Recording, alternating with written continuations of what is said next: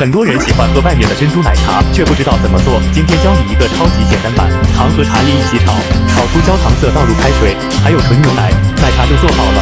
锅里放红糖，半碗西米，加入滚烫的开水，煮三十分钟焖十分钟，红糖珍珠就做好了。放入杯中，加入刚刚做好的奶茶就可以喝了，超级好喝。